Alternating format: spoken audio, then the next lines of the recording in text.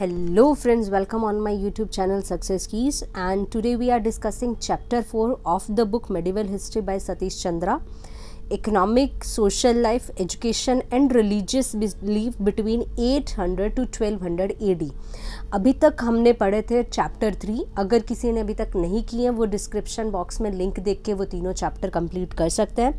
First chapter था India and related with the world second chapter था age of Pala Pratihara and Rashtrakuta chapter three में हमने चोला empire के बारे में पढ़ा था और आज हम इन सभी के रिलीजियस सोशल और एजुकेशन लाइफ को देखेंगे। हमने अभी नॉर्थ इंडिया में 700 टू थाउज़ेंड एडी तक पढ़ा था बट यहाँ पे पूरी सोशल लाइफ ऑफ़ बढ़ेगे 1200 तक। क्योंकि फ्रेंड्स उस टाइम में जो जो टाइम जो बिटवीन था, अगर सौ दो सौ सालों में इतना बड़ा कोई बहुत चेंज नहीं आता था सोशल लाइफ में, अगर आज के टाइम में देखें कि पाँच साल में बहुत बड़ा डिफरेंस आ जाता है। बहुत बड़ी चेंजेस आ जाते हैं लाइफ स्टाइल के अंदर बट उस समय इतनी टाइप ऑफ़ इतनी स्पीड से एडवांसमेंट नहीं थी कि जो इतना बड़ा बहुत कोई चेंज आया हो सौ दो सौ साल में भी social economic educational belief system में। सो so, यहाँ पे हम इसको स्टडी कर करते हैं। तो स्टार्ट करते हैं यहाँ से। दैट uh, यहाँ पे देख लिया कि हमने ये कर रहे हैं इसी के बारे में लिखा गया है।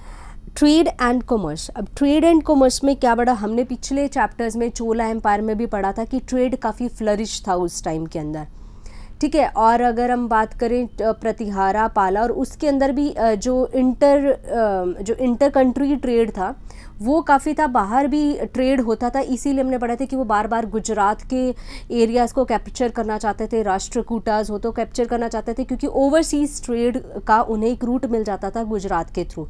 तो उसके अंदर भी हमने पढ़ा कि ट्रेड उस टाइम पे फ्लरिश था। पर यहाँ पे जैसे लिखा गया है कि इकोनॉमिक सिचुएशन जो हमें बताती है कि स्पेशली जो ट्रेड एंड कॉमर्स है इसके अंदर कि वो बार बार हिस्टोरियंस में इसके अंदर डिबेट होते हैं। कोई कहते हैं बहुत फ्लरिश था, कोई कहते हैं फ्लरिश नहीं था। रीज़न बिहाइंड कि ट्रेड फ्लरिश होना फ्लरिश होना मतलब कि अगर उस टाइम पे बहुत ज़्यादा gold coins and silver coins या गोल्ड या सिल्वर मिलता है मीन्स ट्रेड ट्रेड फ्लरिश था बाहर से।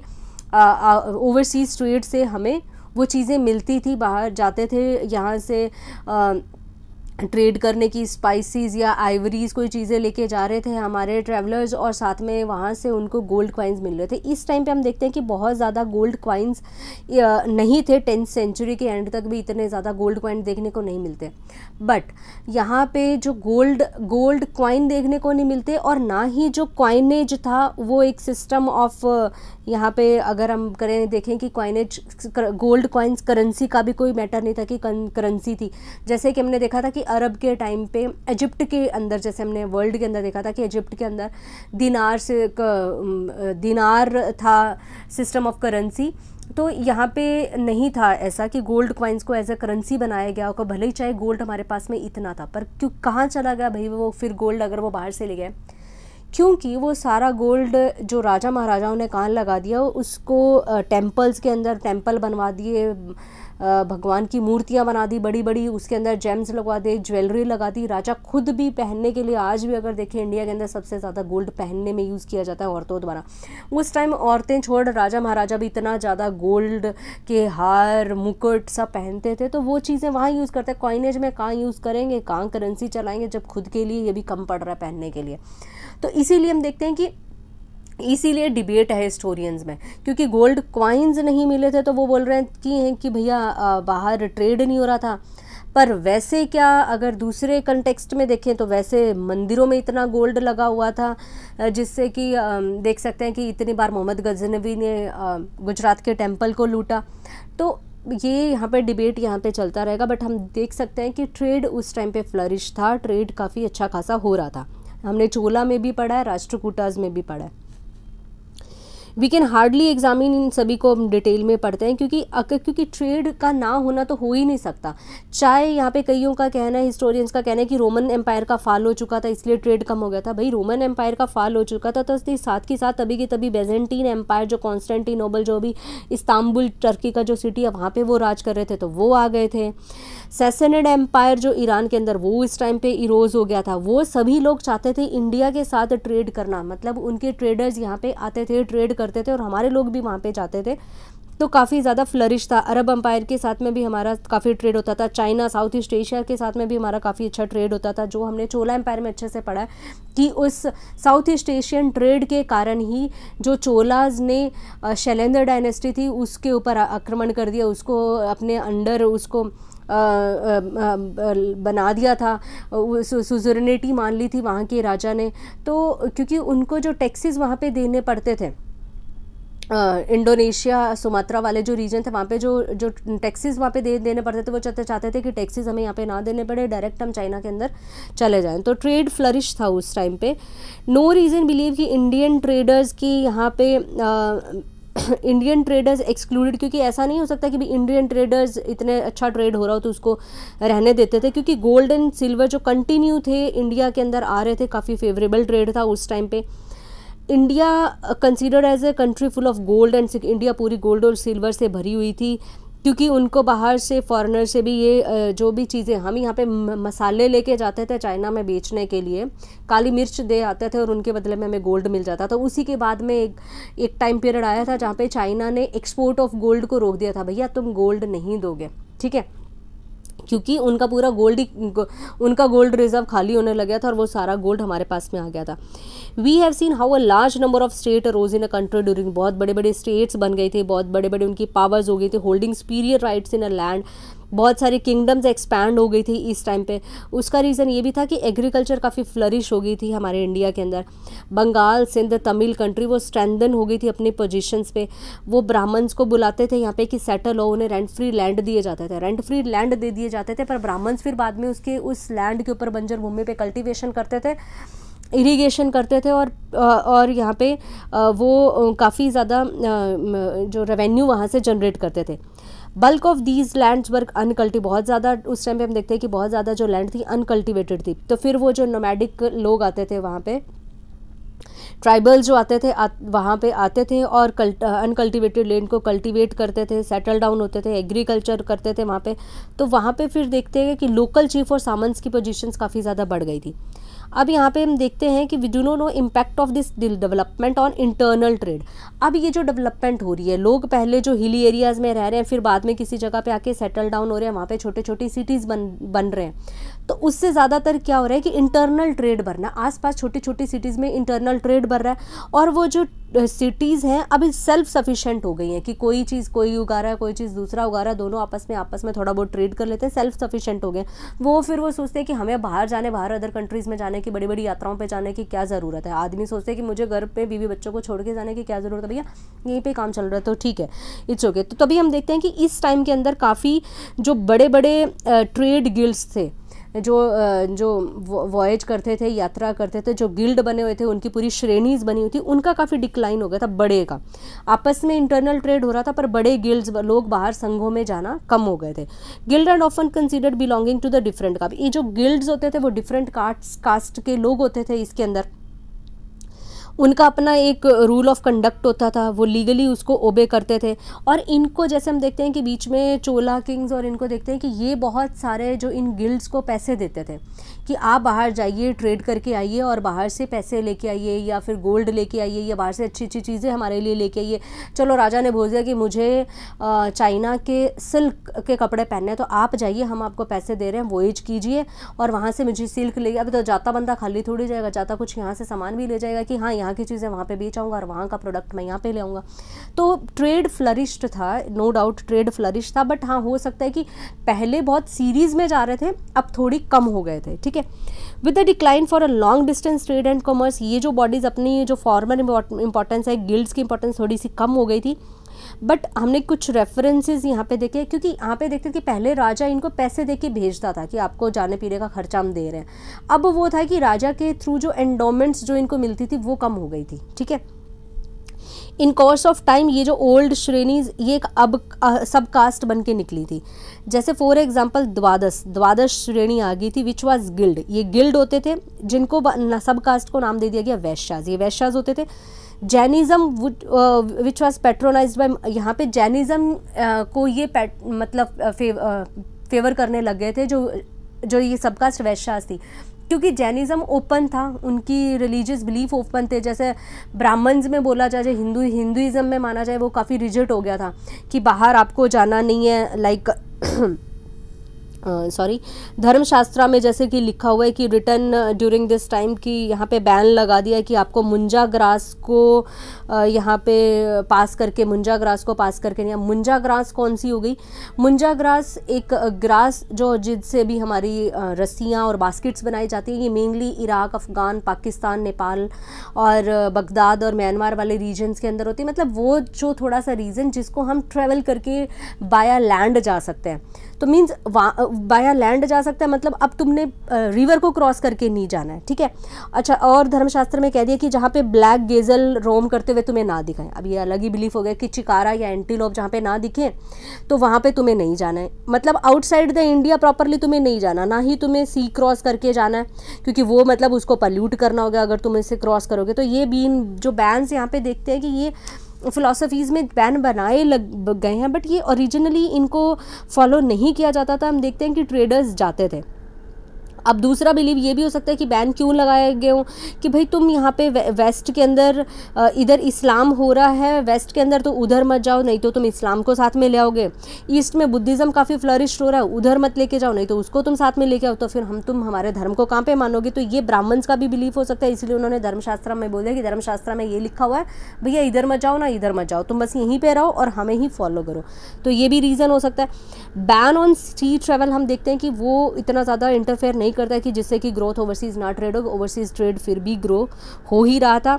काफ़ी अच्छा खासा यहाँ पे ट्रेड फ्लो हो रहा था साउथ इंडिया की कंट्री और साउथ ईस्ट एशिया के अंदर। हम देखें काफ़ी अच्छा खासा ट्रेड चल रहा था लुक्रेटिव ट्रेड था। हमें अच्छा खासा पैसा वहाँ से मिलता है। जैसे चोला एम्पायर में पड़ा होगा था कि कम से कम four lakh sum of money वहाँ से चाइना से हम लेके आए थे। ट्रेड जो स्पाइसेस का या अदर आइवरीज़ का जो ट्रेड था, वो करके वहाँ पे जो गिल्ड्स से द ग्रोइंग जोग्राफिकल नॉलेज उस टाइम पे जोग्राफिकल नॉलेज हमें एरियाज़ की न्यू न्यू एरियाज़ की नॉलेज मिल रही थी अबाउट द कंट्रीज़ वो लिटरेचर में दिख, दिखती है उस टाइम के.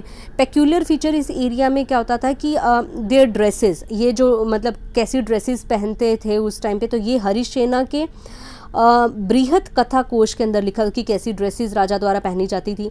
बहुत सारी स्टोरीज़ लिखी हुई हैं मर्चेंट्स की एडवेंचर्स की, कि उस टाइम पे गए थे। जैसे कि अगर हम बात करें कि सिंधबाद की स्टोरी जो सेलर था एक बगदाद का, जो जिसने सात यात्राएँ करी थी तो लिखी कि भाई उनको कौन कौन सी एडवेंचर्स उनको सी के अंदर मिले। तो उस टाइम पर ये देख, मिलता है कि उस टाइम पर ट्रेड काफ़ी फ्लजरी सा ट्रेड हो रहा था। उन्होंने बहुत सारे उसमें जोग्राफिकल रीजन्स के बारे में बात करी है सिंधबाद की स्टोरीज़ में। तो ये देख सकते हैं इंडियन मर्चेंट्स ऑर्गेनाइज होते थे गिल्ड के अंदर, जिन्हें बोला जाता था मनीग्रमन और नंदेशी, ये दो टाइप के गिल्ड काफ़ी फ़ेमस थे उस टाइम पे। ये गिल्ड थे कि ये अंगेज होते थे रिटेल और होलसेल ट्रेड के अंदर फॉरेन कंट्रीज़ के अंदर। इनको they also give handsome grant to the temples अब ये पैसा काफ़ी कमा के वहाँ पे लेके आते थे तो टेम्पल्स को काफ़ी अच्छी ग्रांट देते थे, पैसा देते थे। और ये ये यहाँ पे जो टेम्पल्स होते थे सेंटर होते थे सोशल एंड कल्चरल लाइफ के तो यहाँ पे मनी इनको मिल जाता था ट्रेड करने के लिए। बहुत सारे इंडियन ट्रेडर्स सेटल हो गए थे बाहर कंट्रीज़ में जाके, वहाँ पे सेटल भी हो गए थे, वहाँ पे उन्होंने लोकल वाइफ भी बना ली थी, वहाँ पे शादियाँ कर ली लोकल पॉपुलेशन के साथ में असिमिलेट हो गए थे। फिर हम देखते हैं कि इनको फॉलो करके इनके साथ में प्रीस्ट भी जा रहे हैं। मतलब जैसे कि बुद्धिज़्म जैसे फ्लरिश्ड हुआ था। यहाँ से जो बुद्धिस्ट मॉन्क थे, इन्हीं ट्रेवलर्स के साथ में, इन्हीं गिल्ड्स के साथ में बैठ बैठ के चले जाते थे और वहाँ पर क्या करते थे, बुद्धिज़्म बुद्धिज़्म को प्रीच करते तो ऐसे ही तो इंडिया से निकल के बुद्धिज़्म अदर कंट्रीज़ में फैला था। हिंदू रिलीजन के लोग भी वहाँ पे जाते थे। बुद्धिस्ट टेंपल तभी तो हम देखते हैं कि बुद्धिस्ट टेंपल कहाँ पे बना हुआ बोरोबदूर जावा के अंदर। हिंदू टेंपल बना हुआ अंगोरवाट कंबोडिया के अंदर। वो इसी वजह से क्योंकि हिंदुज़म वहाँ पे प्रीच हुआ था। हिंदू जो मॉन्क्स थे, हिंदू रिलीजियस आइडियाज़ के जो प्रीचर्स थे, वो वहाँ पे गए थे। Some of the ruling families areas जो वहाँ पे उस एरियाज़ की जो रूलिंग फैमिली भी थी वो भी सेमी हिंदुइज हो, हो चुकी थी। वो वेलकम करते थे ट्रेड और कल्चरल रिलेशन विद इंडिया के साथ में। वो मर्च हो गए थे इंटरमिंगल्ड हो गए थे उनके कल्चर मिंगल्ड हो गए थे हमारे साथ में। Some observer think that the material prosperity of the south east countries grow the civilisation अब यहाँ पे कुछ यहाँ पे थिंकर ये भी मानते हैं कि जो साउथ ईस्ट एशियन कंट्रीज़ जो उस टाइम पे फ्लरिश्ड हुई थी, उनकी सिविलाइजेशन जो बड़ी थी, वो इस वजह से भी हो सकता है कि हमने इंडिया के लोगों ने जाके वहाँ पे इरीगेटेड राइस कल्टिवेशन की जो टेक्निक थी इंडिया की, वो उनको बताई थी, जिससे कि बाद में उन्होंने भी वैसे ही राइस उगाया प्रोडक्शन उनकी बढ़ी और उनकी कल्टिवेशन बढ़ी और उनकी जो सोसाइटी है प्रॉस्पर हुई थी। Chief Indian port for sailing to the Java अगर इंडियन पोर्ट जो जावा सुमात्रा पे जाने के लिए जो मेन फ़ेमस पोर्ट जो माना जाता है वो ताम्रलिप्ति का, जो बंगाल में है, जिसे अभी पूर्वा मेदिनीपुर बोला जाता है, वेस्ट बंगाल के अंदर तो यहाँ से लोग जाते थे जावा और सुमात्रा की तरफ़। Major stories of the period यहाँ पे अगर हम देखें कि उसमें बहुत सारी स्टोरीज में लिखा हुआ है कि सुवर्ण द्वीपा जो मॉडर्न इंडोनेशिया वाला रीजन और केदा मलाया वाला रीजन जो है, यहाँ से लोग, ताम्रलिप्ति से लोग यहाँ तक जाते थे। फोर्टीन सेंचुरी में राइटर ने जावा के राइटर ने लिखा हुआ है कि पीपल जो थे जम्बू दिव्या मतलब इंडिया के जो लोग थे या कर्नाटका वाले जो रीजन से या बंगाल वाले रीजन से लोग यहाँ पे बहुत नंबर में यहाँ पे शिप्स उनके आते थे और ट्रेडर गुजरात से भी यहाँ पे आते थे। On an account of this China ने बहुत मेन फोकस दिया था इंडियन ओशन के ट्रेड में।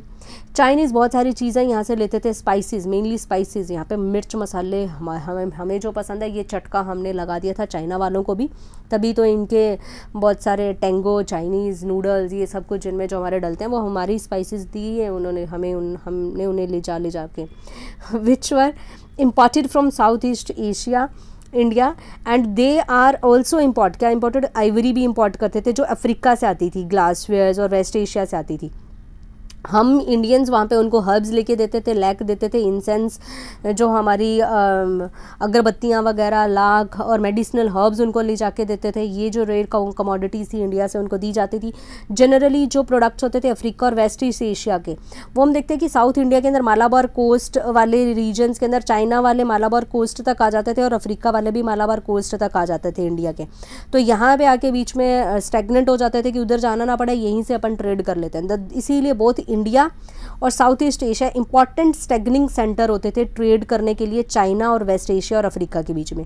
इंडिया के ट्रेडर स्पेशली जो तमिल कंट्री या कलिंगा उड़ीसा वाले रीजन वो एक्टिव रोल पार्ट प्ले करते थे पर्शियंस के साथ में ट्रेड और अरब्स के साथ में ट्रेड करने के लिए। मोस्ट जो ट्रेड होता था चाइना के बीच में, वो इंडियन शिप्स के साथ ऊपर ही होता था। जैसे कि जो मालाबार, बंगाल और बर्मा वाला रीजन है, वहाँ पर टीक वुड बहुत अच्छा मिलता है, जिससे कि शिप बिल्डिंग की जाती थी। और इन्हीं की शिप्स में बैठ के चाइना लोग जाते थे।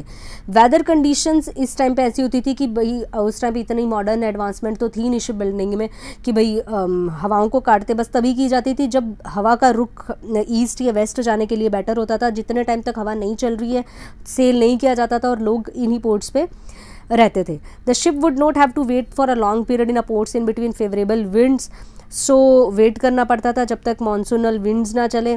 From east to the west after monsoon India and south east Asian port for preferred by the merchants for the इसलिए इंडिया और साउथ ईस्ट एशियन के पोर्ट जो थे, यहाँ पे प्रेफर्ड होते थे. जैसे साउथ ईस्ट एशियन के पोर्ट हमने यहाँ पे देखे थे लाइक सुवर्ण द्वीपा और कथा केधा या कथा वाला जो मलाया में पोर्ट है.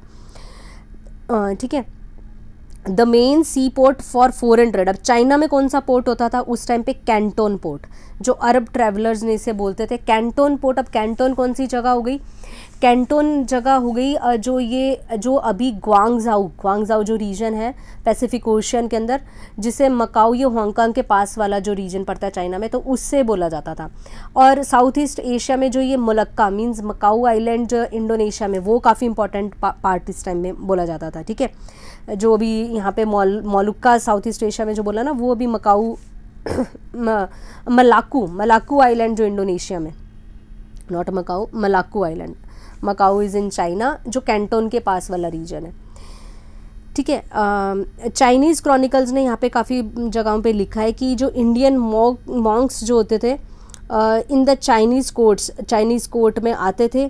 From tenth century and beginning of eleventh century में काफ़ी हाईएस्ट नंबर में। Chinese account for slightly earlier period tells की जो कैंटोन रिवर वो पूरी शिप्स इंडिया की शिप से भरी होती थी पर्शिया और अरेबिया की शिप से भरी होती थी, ये कहा जाता था कि कैंटोन में वहाँ पे कैंटोन रीजन के अंदर थ्री हिंदू टेम्पल्स होते थे जहाँ इंडियंस ट्रेवलर्स जाके रहते थे। Presence of Indians in Chinese sea testified अब यहाँ पे चाइनीज़ सी में इंडियंस की जो प्रेजेंस कैसे टेस्ट हुई कि जापानीज़ के एक रिकॉर्ड में लिखा गया है कि जो कॉटन थी वो जापान में इन दो इंडियंस के द्वारा आई थी। मतलब कि इंडियन आते थे तो ही तो कॉटन की खेती वहाँ पे कल्टीवेशन उनको सिखा के गए कि हमें कॉटन कल्टीवेशन इंडियंस ने सिखाई है। जापानीज़ रिकॉर्ड में लिखा है। महान इंडियन इंडियन रूलर्स पर्टिकुलरली जो पाला और शैना रूलर्स थे बंगाल के, और पल्लवार चोला रूलर्स थे साउथ इंडियन वो वो इनक्रेज करते थे चाइनीज़ एम्बेस के पास में अपनी एम्बेसीज भेजते थे। चोला रूलर जो राजेंद्र वन है, उन्होंने नेवल एक्सपीडिशन किया था मलाई, जो मैंने अभी आपको बताया कि उनको जो चाइना के साथ ट्रेड जो फ्लरिश करने के लिए। एम्बेसीज भेजी जाती थी चाइना पे buyer Rajendra one travelled in Indian ship.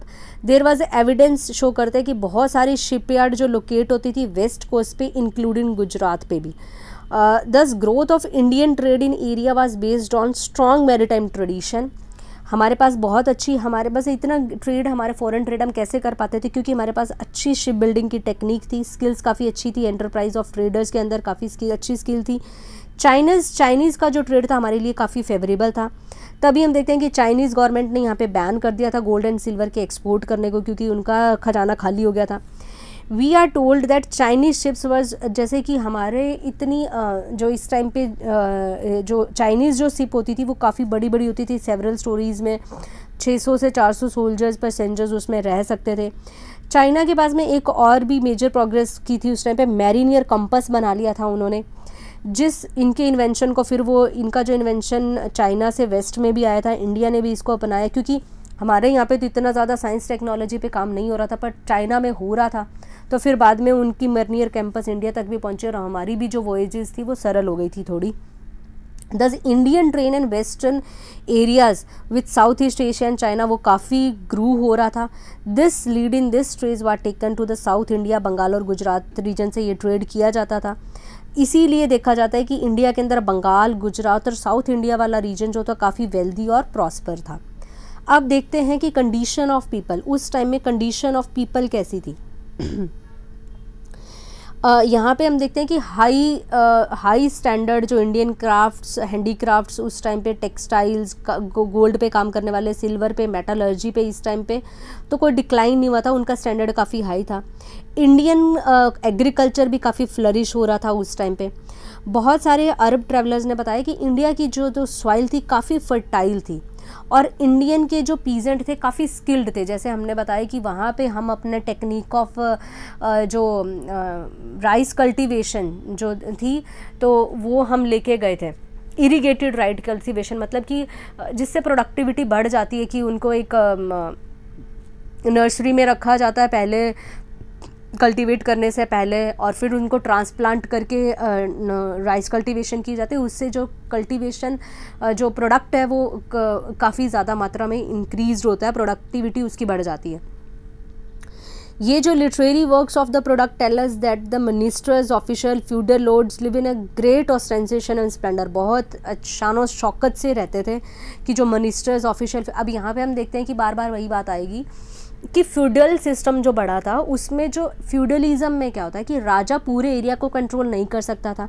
क्योंकि उस टाइम पे इतना ज़्यादा जो था एडवांसमेंट नहीं हुआ था जो हमारे व्हीकल्स के अंदर तो इसीलिए सारे एरिया को कंट्रोल करना इतना ज़्यादा ईजी नहीं था। तो जो लोकल चीफ्टन्स जो वहाँ पर आते थे, वो काफ़ी सुप्रीम पोजिशन कैरी करते थे। वो काफ़ी ज़्यादा मज़बूत हो गए थे क्योंकि रेवेन्यू कलेक्शन भी उनके हाथ में था लैंड ऑर्डर भी उनके हाथ में था सब चीज़ें उनके हाथ में थी तो वो इतना ज़्यादा वो पूरे एरिया को उस टाइम पे कंट्रोल कर पा रहे थे क्योंकि आ, सब चीज़ें उनके हाथ में थी। तभी हम देख सकते हैं कि उस टाइम पे देर आर यहाँ पे सॉरी काफ़ी स्प्लेंडर लाइफ वो जी रहे थे। वो किंग्स की एप करते मतलब कॉपी करते थे किंग्स को कि उनके जैसे अपने बड़े बड़े घर बनाना मल्टी स्टोरीड घर बनाना, अच्छे कपड़े पहनना, चाइनीज़ सिल्क काफ़ी इंपॉर्टेंट था उस टाइम पे, चाइनीज़ से कॉस्टली ज्वेलरी पहनना। और उनके घर में बहुत ज़्यादा लार्ज नंबर ऑफ़ वुमेंस होती थी, काम करने वाली भी। और और जब वो बाहर जाते थे, बहुत सारे लोग उनके पीछे जाते थे। बड़े बड़े सब टाइटल्स उन्होंने राजा की तरह, जैसे राजा ने महाराजा या राजाधिराज के उपाधि ली थी तो इन्होंने भी लिख दिया कि महासमंताधिपति रह, ये उपाधियाँ अपने आप को देने लगे थे। इनके घरों के बारे में जैसे अभी नेम प्लेट होते थे घरों के बारे में बड़ी बड़ी इन्होंने अपनी प्लेट्स बैनर्स लगा रखे थे। बड़े बड़े डेकोरेटेड अम्ब्रेलाज के नीचे ये निकले थे। यॉकटेल टू विस्क अवे मक्खियाँ भगाने के लिए जैसे वो एक एक झाड़ू जैसा टाइप का एक हिलाने के लिए, जो होता ना वो मक्खियाँ हिलाने के लिए, वो वैसे ही लेके मतलब पूरी शानो शौकत से बहुत निकलते थे, पूरी एंट में निकलते थे। ठीक है बिग मर्चेंट्स ने भी राजा को यहाँ पे कॉपी करना शुरू कर दिया था। जैसे मिलेनर मिलेनर को बोला जाता था कोटीश्वरा, चालुक्यन एम्पायर के अंदर। तो वो भी बड़े बड़े बैनर्स अब उनके घरों के बाहर में लगे होते थे। बड़े बड़े जो बहुत ज़्यादा उनके होशेज अस्तबल में होते थे, एलिफेंट्स होते थे, काफ़ी उनके घरों में जाने के लिए काफ़ी बड़ी बिल्डिंग्स, क्रिस्टल बिल्डिंग जो टेंपल उनके घरों में टेंपल हो रहे थे, क्रिस्टल फ्लोर में, वॉल्स में, रिलीजियस पेंटिंग्स लगी हुई हैं, अच्छे खासे घर हैं, अच्छे खासे अंदर ही जो टेंपल बना हुआ है। वस्तुपाला एंड तेजपाला ये दो मिनिस्टर्स गुजरात के माना जाते हैं, वो काफ़ी रेपोरेटेड और रिच मर्चेंट्स उनका नाम दिखता है उस टाइम पे।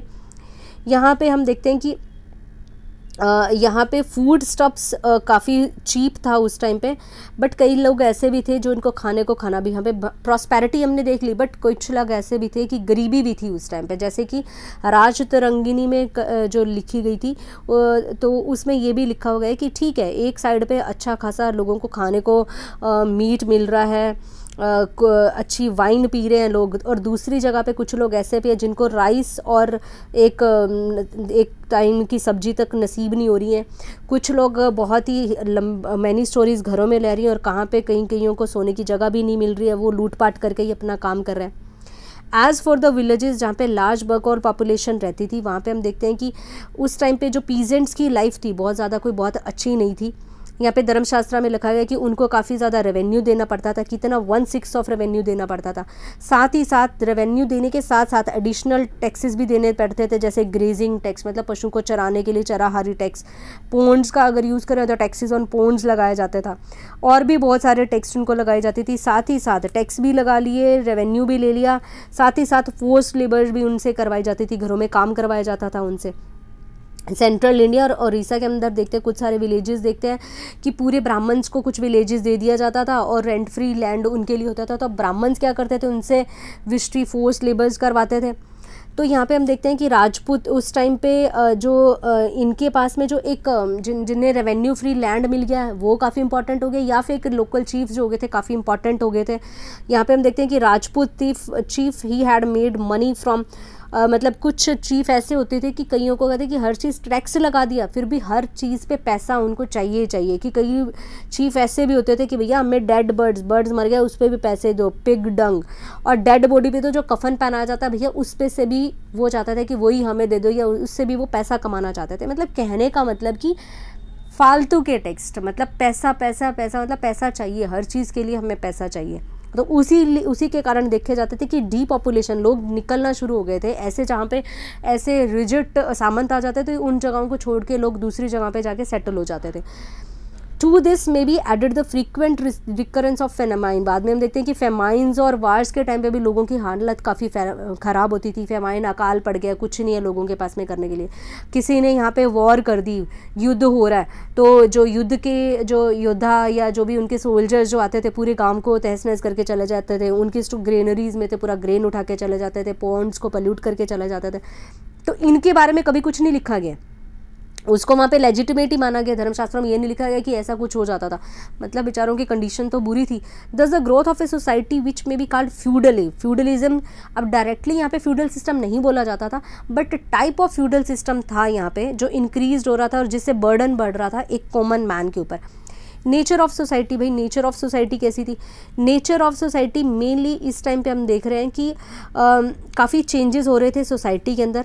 अपर क्लास जो थी पावर ग्रोइंग पावर क्लास जो थी, वो काफ़ी इंक्रीज हो रही थी। जैसे सामंत रणक या रौत या राजपूत जिन्हें बोला जाता था, वो इस टाइम पे इंक्रीज होता है। उनका ओरिजिन डिफरेंट डिफरेंट कास्ट से आता है। कुछ कहते हैं कि ये जो है जो चंद्रवंशी और सूर्यवंशी उससे महाभारत वाले क्लैन से आ रहे हैं, कुछ कुछ अलग कुछ इन्हें कह रहे हैं, पर वो बढ़ते जा रहे थे, इनके ओरिजिन डिफरेंट डिफरेंट थे। गवर्नमेंट ऑफिसर जो इन जिनको पेड किया जाता था कैश में, वही मतलब वो काफ़ी प्राइम पोजीशंस में आ रहे थे। कुछ यहाँ पे जो राजाज होते थे, जिन और उनके जो सपोर्टर जो हारे हुए राजा थे, उनको भी कभी उनसे उनकी ज़मीन नहीं छीनी जाती थी। वो एक पाप माना जाता था कि उनसे उनकी ज़मीन छीन जा रहा है। तो मतलब फिर भी उनके पास में एक रेवेन्यू फ्री लैंड हो गया। तो वो काफ़ी प्राइम पोजिशंस में आए हुए थे। वो लोग डोमिनेट करते थे पूरी रीजन को। और they constantly contended against each other and hence अब वो हर कोई क्या होता था कि छोटे छोटे एरिया को ऊपर अपना हक बना, जमाने की कोशिश करता था। रेवेन्यू असाइनमेंट जिन्हें भोग कहा जाता था जो रेवेन्यू दिया जाता था जो ऑफिशियल्स को तो वो भी क्या करते थे? रेवेन्यू भी वहाँ से कलेक्ट करते थे और लॉ एंड ऑर्डर भी देखते थे पनिशमेंट भी देते थे। लोगों को मतलब एक टाइप का पूरा कंट्रोल था उनका यहाँ पे। एज अ रिज़ल्ट जो किंगडम थे इस पीरियड की वो इंक्लूड uh, थी large area dominated by defeated and subordinate लूडर kingdoms में क्या होता था कि एरिया तो काफ़ी ज़्यादा था बट उसके अंदर वो लोग भी रहते थे जो उनके सबॉर्डिनेट रूलर्स भी हैं या डिफीटेड जो किंग है वो भी है। तो वो वो धीरे धीरे क्या करते थे कि जो उनसे अगर उनकी लैंड नहीं छीनेंगे तो वो एक टाइम पे उसके ऊपर प्रोमिनेंस उनकी हो जाती थी। पूरा हक उन्हीं का ही हो जाता था।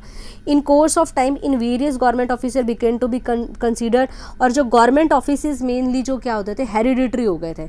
मतलब कि अगर कोई ऑफिशियल ताल्लुकदार है तो उसका बेटा आगे ताल्लुकदार ही बनेगा। तो मतलब वो ताल्लुकदार ताल्लुकदार बनते बनते वो धीरे धीरे एक उनको एक प्रोमिनेंट फ़ेज़ में आ गया। वो लॉ एंड ऑर्डर को कंट्रोल कर रहा है और वो मतलब एक उसको अपनी सीट से हिलाया नहीं जा सकता।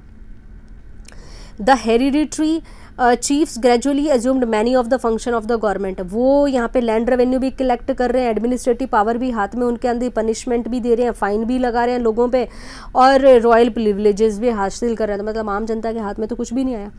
They assumed the right to sublet their land अब वो अगर किसी की ज़मीन छीन के भी अपने फॉलोवर्स को दे रहे हैं, भैया, तुमने ये यहाँ पे ब्याज नहीं भरा, तुमने अपना टैक्स नहीं दिया, दो, हमें अपनी लैंड दे दो, हम किसी और को दे देते हैं। तो ये सब चीज़ें हो रही थी। आम जनता की जो हालत थी वो कोई अच्छी नहीं थी।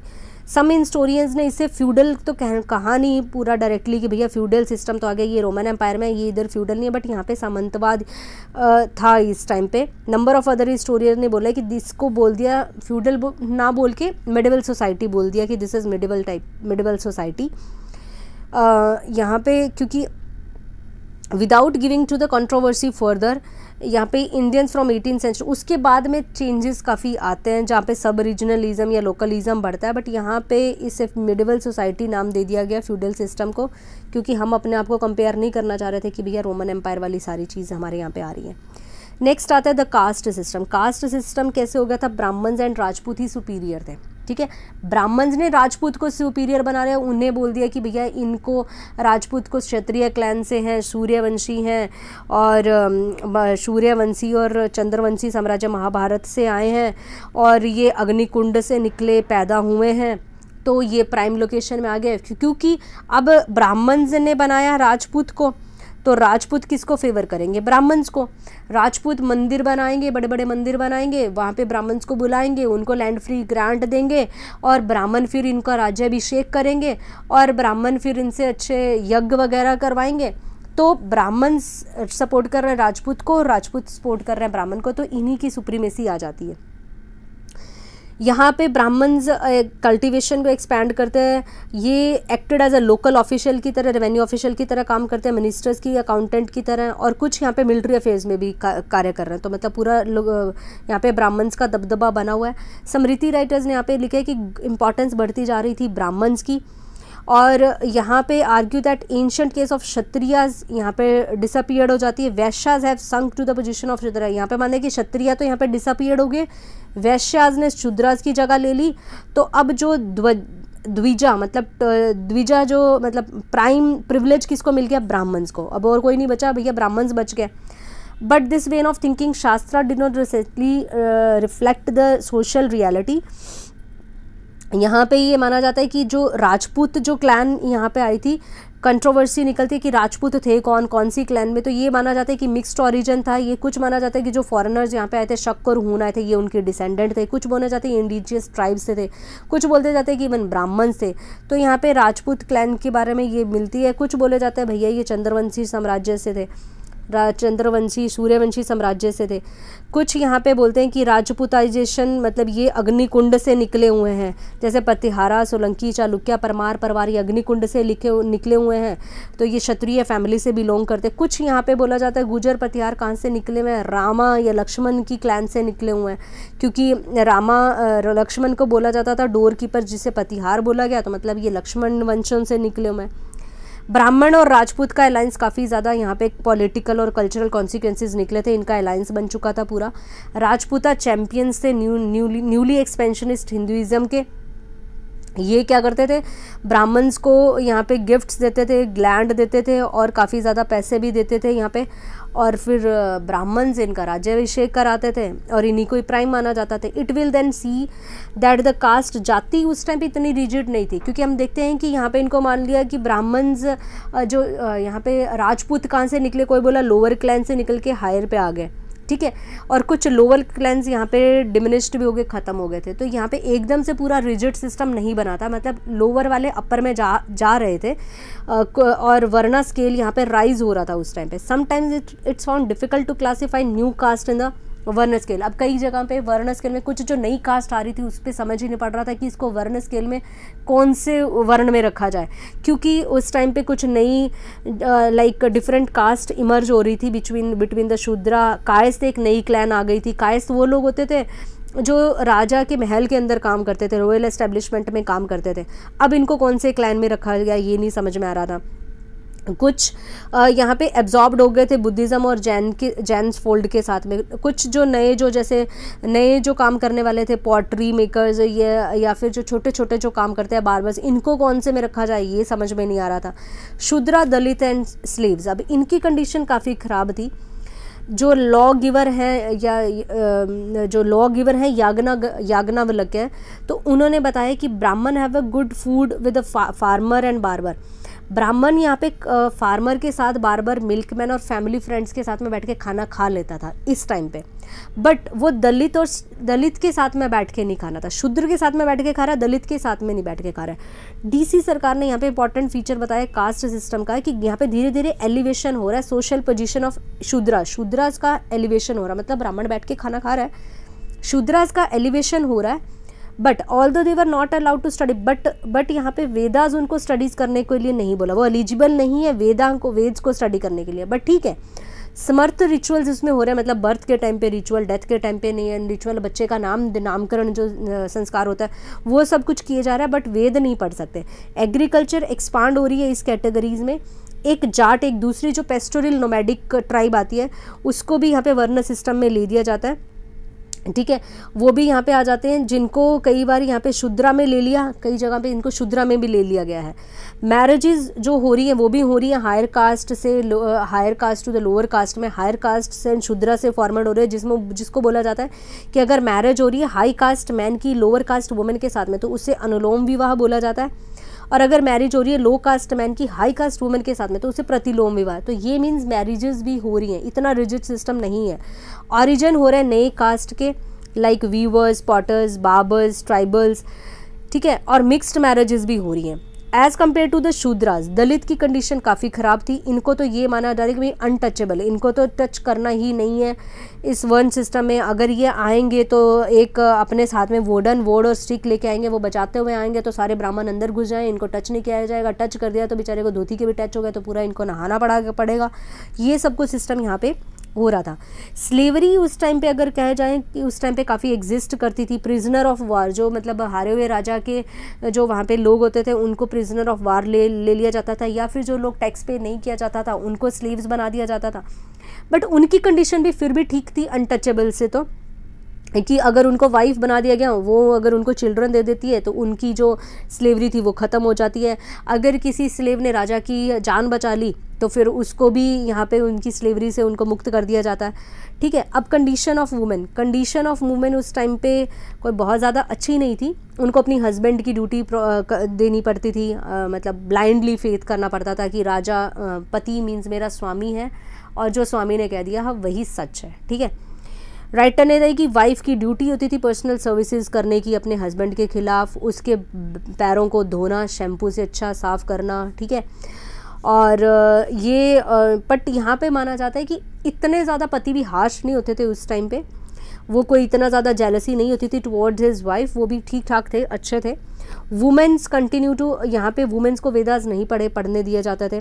फर्दर मोर जो मैरिजेबल एज गर्ल की काफ़ी कम एज में शादी हो जाती थी, चाइल्ड मैरिजेज हो जाती थी, जिसकी वजह से देखा जाता है कि वो हायर एजुकेशन लड़कियाँ नहीं ले पाती थी। यहाँ पे वुमेंस हमने देखा है कि कोई वुमेन कोई भी टीचर नहीं बनी हुई मतलब हायर एजुकेशन उनके पास में नहीं थी। और कई बार ही हमने कुछ कुछ जगह पे कुछ इंस्टांसेस ऐसे भी मिले हैं कि जो कोर्ट लेडीज़ या क्वींस की मेड जो होती थी, वो काफ़ी संस्कृत और प्राकृत के वर्सेज उन्होंने दोहे वगैरह लिखे हैं। तो वो भी कई कई जगह पे ये एक्सेप्शनल केसेस होता था। मेजरली उनको वेदास पढ़ना नहीं दिया जाता था। कई बार हमने देखा है कि जो प्रिंसेस वो फाइन आर्ट्स या पेंटिंग म्यूज़िक में काफ़ी एक्सपर्ट्स होती थी, वो कुछ कुछ इंस्टेंसेस में यहाँ पर देखने को मिला जाता है। और यहाँ पे हम देखते थे एज़ फॉर मैरिजेस के अंदर लिखा है कि स्मृति राइटर्स ने लिखा है कि यहाँ पे वो छोटी एज में शादी हो जाती थी। बट री मैरिजेज़ उस टाइम पे अलाउड थी। अगर हस्बैंड की डेथ हो जाती है ठीक है? तो उसका केसेस में या अदर कोई इम्पोर्टेंट है या उस केसेस में री मैरिजेज होती थी। General women's were distrusted they were kept in seclusion उनको ट्रस्ट नहीं किया जाता था। वो एक अलग ही अंदर उनको रहना पड़ता था। जो हायर क्लास की जो वुमेन होती थी, उनको बाहर तक नहीं निकलने दिया जाता। एक सिर्फ़ लोकल कॉमन वुमेन जो होती है लोअर क्लास की जो वुमेन है, वो अपने पति के साथ में काम काज में हेल्प करती थी। बट हाई क्लास की वुमेन जो सिर्फ़ अंदर ही रहती थी।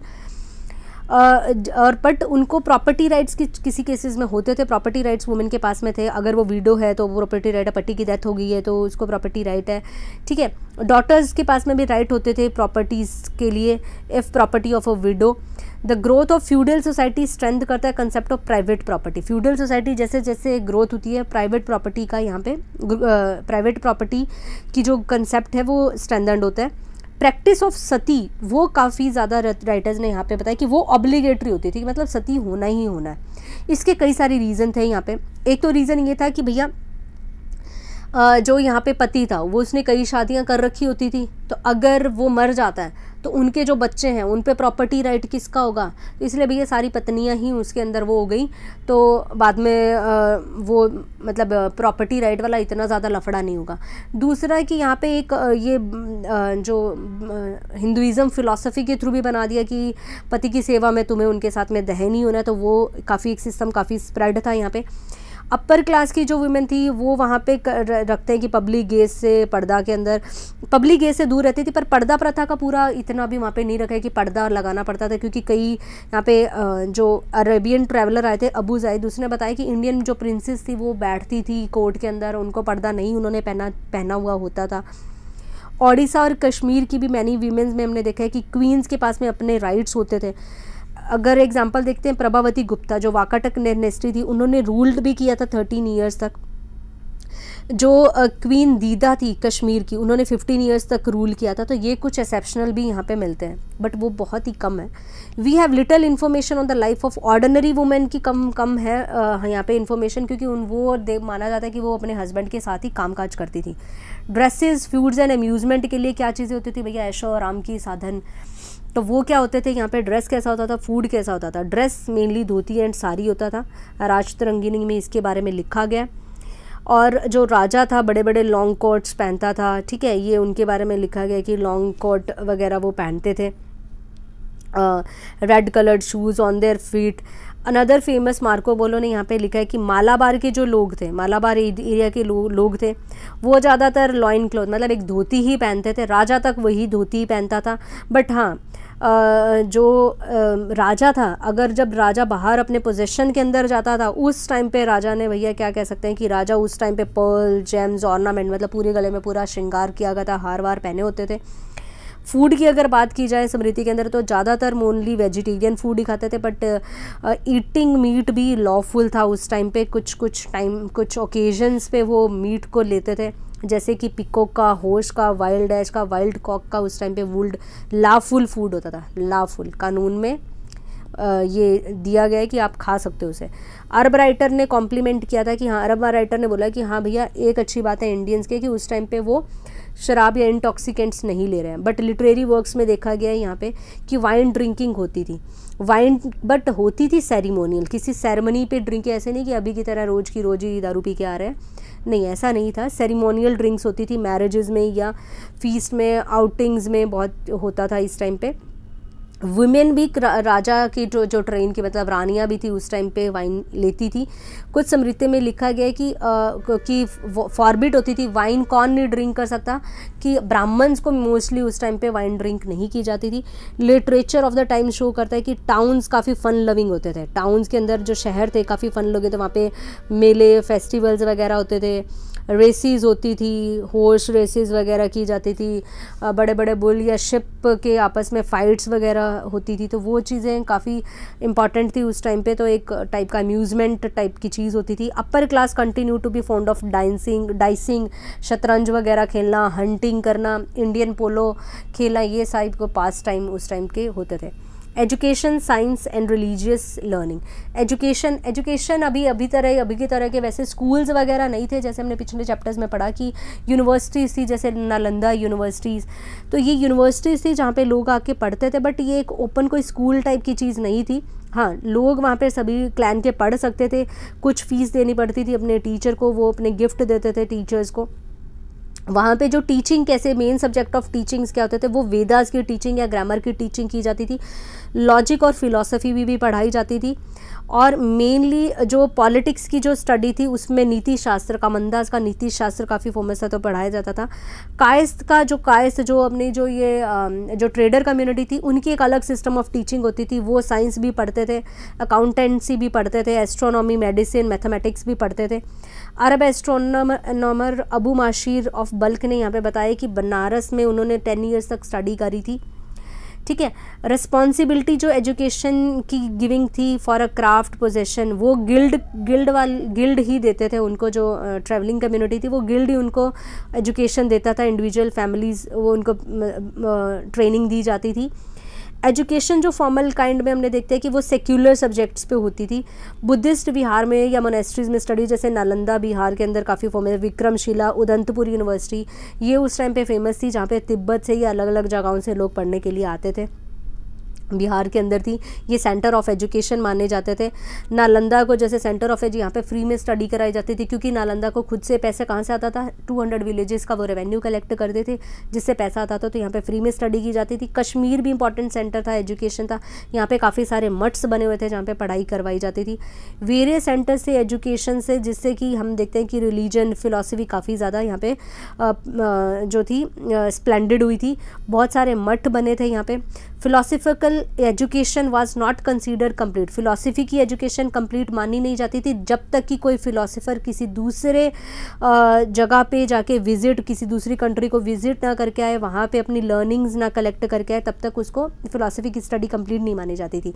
इस मैनर से हम देख सकते हैं कि उस टाइम पे हमारी जो एजुकेशन थी, वो फ्लरिश थी बट जो ग्रोथ ऑफ़ साइंस थी कंट्री में, वो इतनी ज़्यादा फ्लरिश नहीं हुई थी बिकॉज़ रिजिडिटी थी हमारे यहाँ पे सोसाइटी के अंदर। सिर्फ़ अगर एक अगर हम माने यहाँ पे तो जो मैथमेटिक्स की जो स्टडी थी, वो थी जैसे कि लीलावती ऑफ़ भास्कर टू। वो काफ़ी प्रोमिनेंट राइटिंग थी।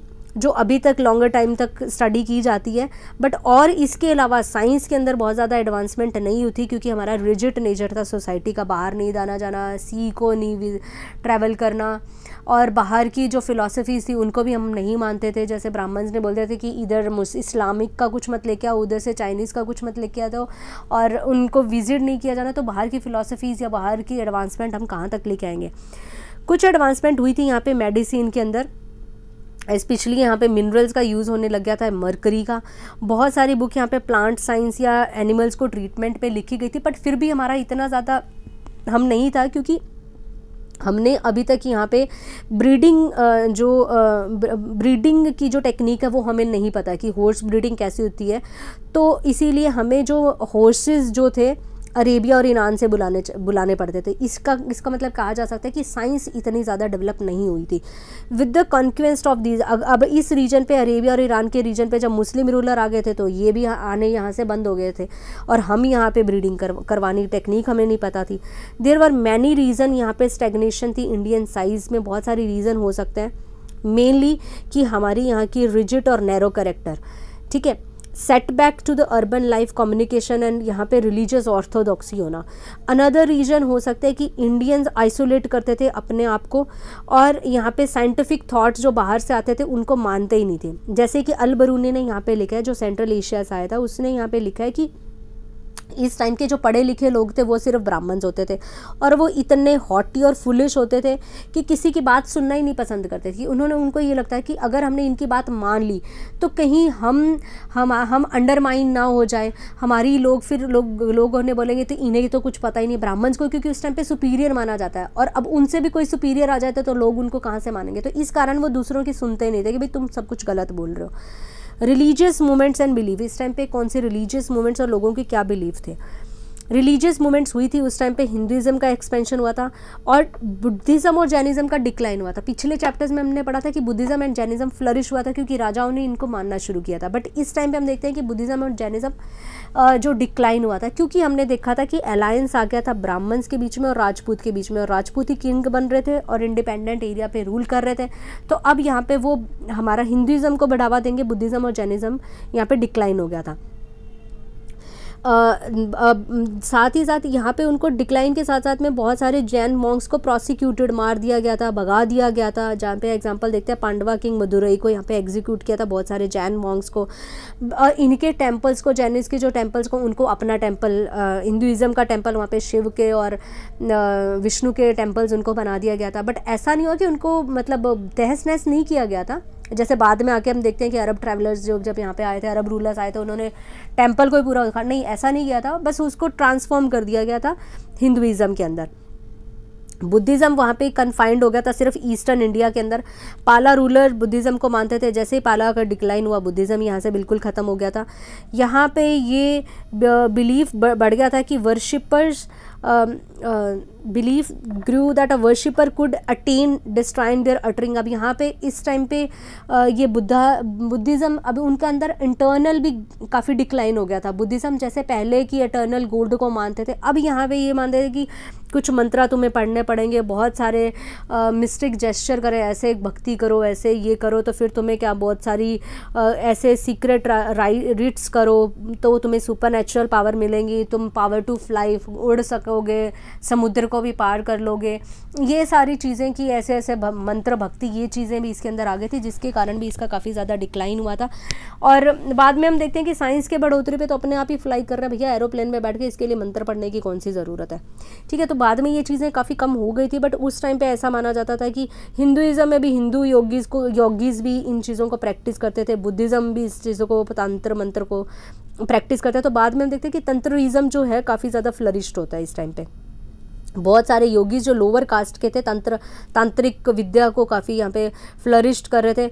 Buddhism did not so much decline it assume the form which में बी इनडिस्टिंग्विश फ्रॉम हिंदुज़म मतलब इतना डिक्लाइन है पर वो डिस्टिंग्विश्ड हो रहा था हिंदुज़म से। तो वो हिंदुज़म में भी ऐसी चीज़ें आ गई थी आ, कि कुछ मतलब रूढ़ीवादिता आ गई थी और हिंदुज़म में भी आ गई थी तंत्र मंत्र और ये आ, जो कहते हैं ना कि वर्थ फास्ट और कुछ चैंटिंग सिस्टम ये सारी चीज़ों पे डॉगिज़म जिसे बोलते हैं तो डोगमा काफ़ी आ गया था। Jainism continue to be popular Jainism इस टाइम पे पॉपुलर था पर्टिकुलरली ट्रेडिंग कम्युनिटीज़ के अंदर। चालुक्य रूलर जो गुजरात के, वो जैनिज़म को पैटर्नाइज कर रहे थे। बट मैग्निफिशेंट उस टाइम पे जैन टेंपल बने, जैसे दिलवाड़ा टेंपल माउंट आबू में बनाया गया। परमारा रूलर जो मालवा किंग है, उन्होंने भी काफ़ी जैन संतों की इमेजेस बनाई बड़ी बड़ी जैसे महावीरा को वर्शिप करने लगे थे एज अ गॉड अब प्रॉब्लम यहाँ पे ये हो गई थी बुद्धिज़्म और जैनिज़्म में कि जो उनके प्रीचर्स थे, लोग उनको गॉड मान के पूजने लग थे। हालाँकि जो इनके प्रीचर्स थे उन्होंने सिर्फ़ ऐसा कोई उनको चैंटिज और गॉड सिस्टम नहीं बताया था कि भाई उन्होंने सिर्फ़ ये मतलब लोगों के आपसी प्यार को बढ़ावा दिया था। जैसे चाहे बुद्धिज़्म के हों या गौतम बुद्ध हों या फिर महावीरा हों, उन्होंने ये नहीं बोला था कि हमें तुम याद करना या मेरी यहाँ पे भक्ति की जाए मतलब तो यहाँ पे आइडलिज़म नहीं था, बट यहाँ पे इसके बाद में क्या था कि आइडलिज़म, कोई आइडल को कोई मूर्ति पूजन हो गया था, जिसके कारण काफ़ी यहाँ पे डिक्लाइन हुआ था इनका। द मैग्निफिशेंट जैना जैनाल्यास बनने लग गए थे काफ़ी बड़े बड़े बेहतरीन बड़े बड़े साउथ इंडिया में जैनिज़्म ने अपना पूरा हायर पीक पे था यहाँ पे उस टाइम पे। During this period Jain basadis या जैन टेंपल और जैन पिलर्स यहाँ पे सेटअप हो गए थे डिफरेंट पार्ट में। श्रावण बेलगोला में बड़ी सारी इमेज बना दी गई। 18 मीटर का बड़ा ऊँचा स्टैचू बनाया गया। ग्रेनाइट एक रॉकेट टेंपल रॉकेट इमेज बनाई गई थी। एक ही रॉक को काट के वो पूरी की पूरी 18 मीटर की हाई इमेज बनाई गई थी।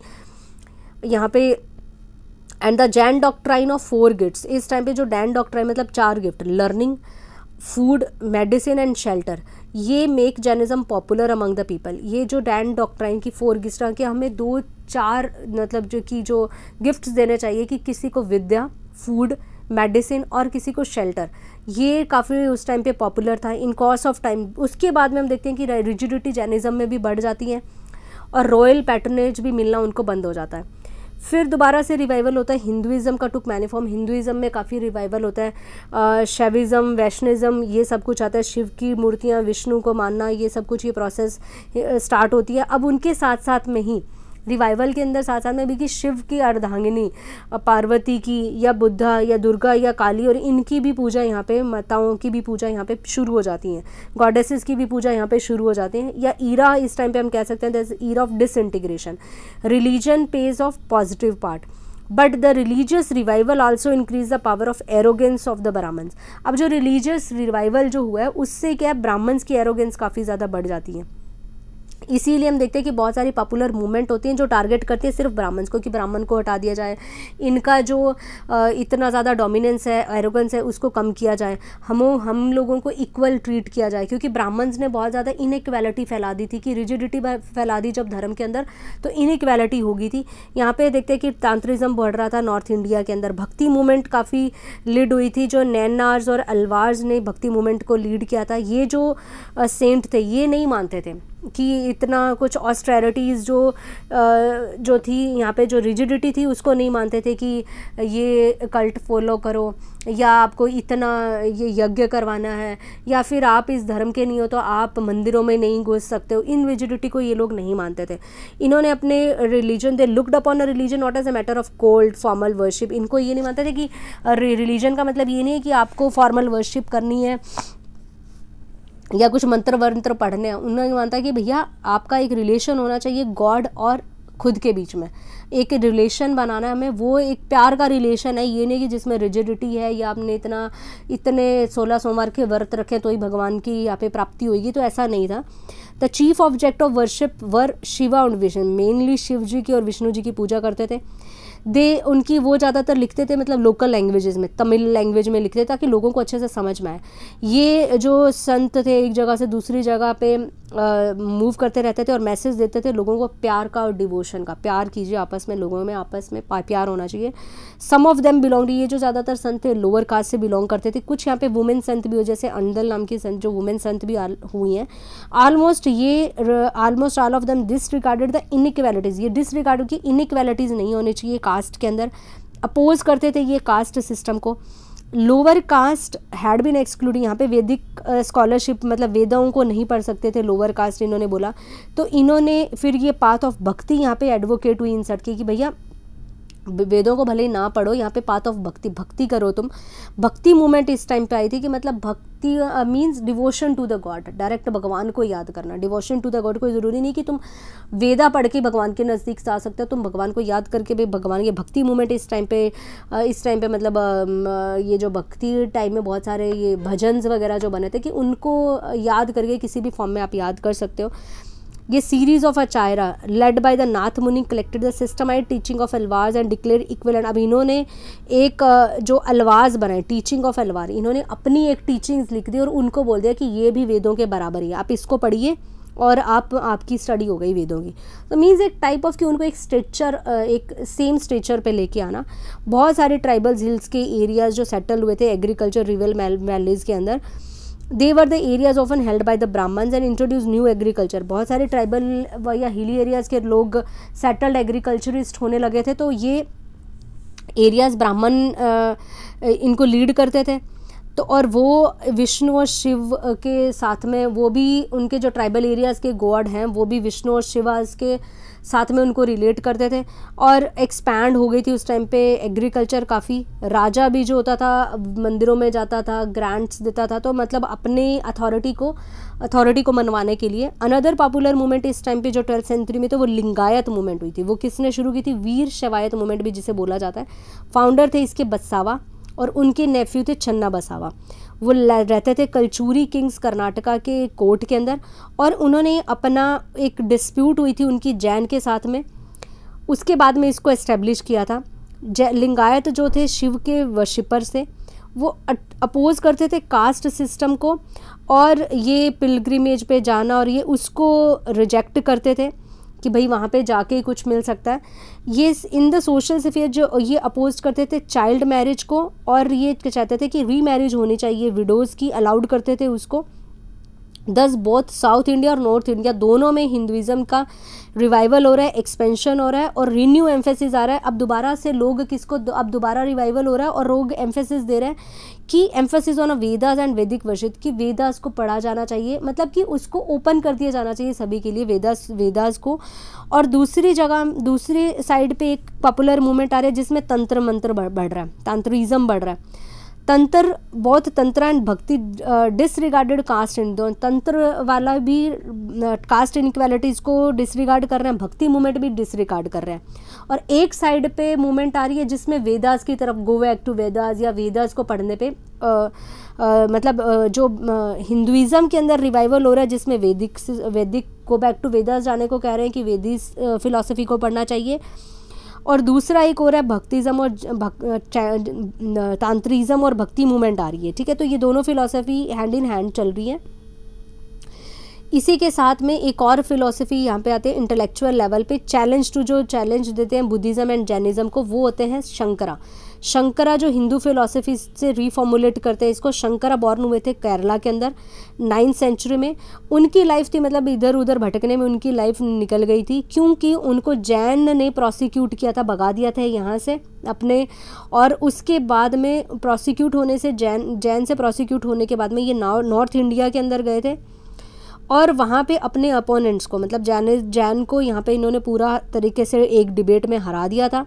उसके बाद में इन्हीं की इस विक्ट्री को वेलकम करने के लिए मदुरई के किंग ने इनको वापस वेलकम किया था अपने कोर्ट के अंदर और यहाँ से जैन्स को भगा दिया था। उसके बाद में फ्लरिश्ड हुई थी जैन फिलोसफी जिसे बोलता है अद्वैतवाद। मतलब कि किसी को भी यहाँ पे बोला इन्होंने कि नो ड्यूअलिज्म कोई ड्यूअलिज्म नहीं, उन्होंने बोला कि गॉड और जो वर्ल्ड है क्रिएटेड वर्ल्ड एक ही चीज़ है। भगवान गॉड एंड उनका मतलब भगवान एक है और इन्होंने बताया कि द डिफरेंसेस लोगों के, किसी के बीच में भी कोई डिफरेंस नहीं, कोई किसी से अलग नहीं है इन जो भी, जो अलग कर दिया गया, इन रिस्पेक्ट ऑफ़ कास्ट कोई किसी से अलग नहीं है, ये हमारे अंदर जो इग्नोरेंस है, अज्ञान के कारण ही या माया ने अपनी जगह ले ली है, जिसके कारण ही लोगों में यहाँ पे डिफरेंसेस हैं। हमें अगर सालवेशन चाहिए या मुक्ति चाहिए तो हमें भगवान की प्रार्थना करनी चाहिए, उसको डिवोशन करनी चाहिए। वो कैसे कर सकते हैं हम? नॉलेज को गेन करके। हमें ज्ञान पहले हासिल करना चाहिए। फ़िलासफ़ी उन्होंने, जो फिलोसफी डेवलप की थी called Vedanta. The Shankara upheld the Vedas as the fountain head of true laser Shankara ने किसको बताया? वेदास को फाउंटेन हेड मतलब ट्रू नॉलेज किसमें वेदास में ट्रू नॉलेज है, उसको पढ़ने पे इन्होंने ज़ोर दिया। The path of knowledge put forward by Shankara could be followed by only वे कुछ किसी ने, बहुत कम लोगों ने उनको माना। शंकरा ने did not reject the path of bhakti उन्होंने भक्ति को रिजेक्ट नहीं किया कि मतलब अगर आप भगवान को याद करो, उन्होंने भक्ति को रिजेक्ट नहीं किया। बट फॉर दिस आपका जो भक्ति करने के लिए आपका जो दिल होना चाहिए, वो साफ़ होना चाहिए और आपको एक प्रॉपर नॉलेज भी, उन्होंने भक्ति के साथ साथ नॉलेज पे भी गेन मतलब बढ़ावा दिया, उसको भी, उसको टारगेट किया। It could not influence the masses इसीलिए देखते हैं कि इन्होंने बहुत ज़्यादा मासिस को इन्फ्लुएंस नहीं किया। क्योंकि भैया तुम वेदा की तरफ़ जाने के बोल रहे वेदाज उनको पढ़ने नहीं दिए जा रहे acharyas from Nath Muni onward were all orthodox Brahmins. जो नाथ मुनि के बाद में, जो भी लोग आए, उसके बाद में देखते हैं कि वो ऑर्थोडॉक्स ब्राह्मण थे। And argued with Nath argued that the path of bhakti was open only to the three अब बाद में उन्होंने क्या बोला कि भक्ति सिर्फ़ ओपन होनी चाहिए अपर थ्री कास्ट को। And dutiful following the rituals अगर किसी को मतलब भक्ति करनी है तो उनको कुछ रिचुअल्स फॉलो करने पड़ेंगे, कुछ हवन यज्ञ वगैरह दान दक्षिणा देनी पड़ेगी। इलेवन सेंचुरी में एक हम देखते हैं कि अनदर फ़ेमस आचार्य आए थे, रामानुजा। उन्होंने भक्ति को और ट्रेडिशन ऑफ़ वेदास को आपस में एसिमुलेट करने की कोशिश की थी। इन्होंने आर्ग्यू किया कि अगर आपको मोक्ष की प्राप्ति करनी है तो आपको grace of god was more important than the knowledge about him मतलब आपको गॉड को प्यार से याद करना, ना कि उसको पूरे मतलब वेदास वगैरह को पढ़ने पे उनको इतना वो नहीं किया। Ramanuja emphasised the path of prapatti and total reliance उन्होंने बोला कि पूरा आप गॉड को सरेंडर कर दीजिए इंक्लूडिंग द शूद्र दलिताज भी इनके अंडर उन्होंने शूद्राज और दलिताज भी इनके पाथ को फॉलो कर सकते थे। Thus Ramanuja try to build a bridge Ramanuja एक बिल्ड बनाना चाहते थे। ब्रिज की तरह इन्होंने काम किया भक्ति के बीच में और वेदास की अपर कास्ट की जो मूवमेंट चल रही थी, उसके बीच में एक ब्रिज बने थे।